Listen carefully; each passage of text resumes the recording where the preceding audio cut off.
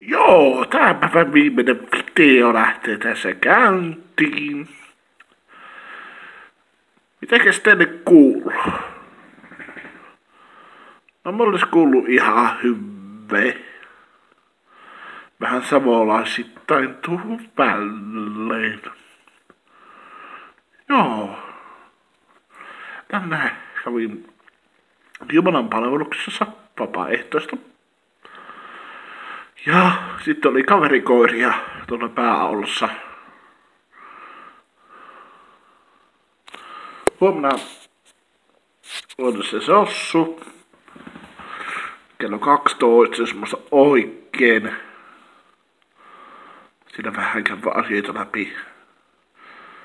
Ja huomenna selvi ehkä, että miten pitkään mä joudun olemaan hoidossa. Joo. Silleen.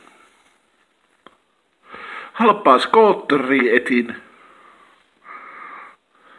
Ajokunnossa mikä on kilvissä. Jos mä vaikka paihallaan muutan tuonne entisen lähelle kerrostalloni, niin ois jolla joku kulkuvuoden millä käydä kaupassa. Kontiolahden kirkon kylällä. Mutta minä toivotan kaikille hyvää yötä ja kuvataan huomenna lisää. Moikka!